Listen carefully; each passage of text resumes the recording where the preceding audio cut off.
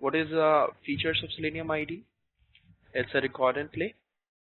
It will locate, uh, you know, elements automatically using locators like ID, name, link, XPath, CSS. We'll be talking about locators in detail when we will get into the Selenium WebDriver. Drop down selection of Selenium commands. Features so you can debug your test cases. You have the capability to save your tests in HTML if you want to save your test scripts what you have created or what has been recorded. You can save them into HTML as well as you can convert them into WebDriver as well. Support for Selenium user extension.js file, we'll see that. Scheduler for scheduling your test, you can schedule your test case as well. Let's open Firefox and let's see. I have also Firefox 55 and uh, I have Selenium IDE also installed. So as you all know that uh, the official website of Selenium IDE is Selenium HQ download. You may go to this site and if you go to this site, if you go down here, you will find download latest release version from this link.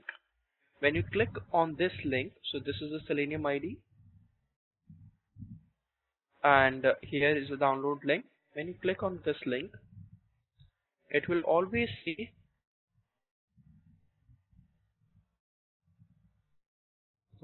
uh, it says download all Firefox.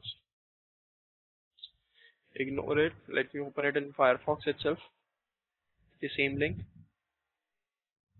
When you click on this link you will see here this add-on is not compatible with your version of Firefox okay. So it may say that either you say download anyway or you may downgrade your uh, Selenium uh, sorry Firefox version and can down then download it. There are two ways to do that.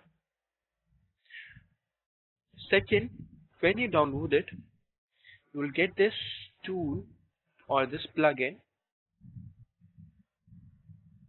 here in tools menu.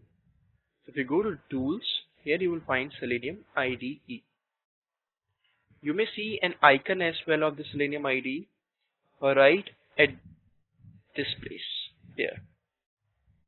So here at my place at my end it is not showing as I have other plugins installed but it may be possible that you don't have uh, multiple plugins.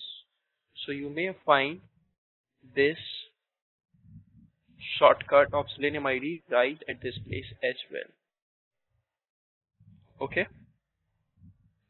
Now let's open Selenium IDE and let's see how it looks like. So this is how it looks like.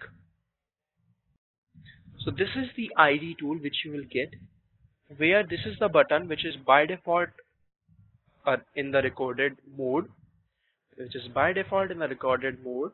And now if you open or do anything in Firefox browser it will record that and will log all the steps what you will follow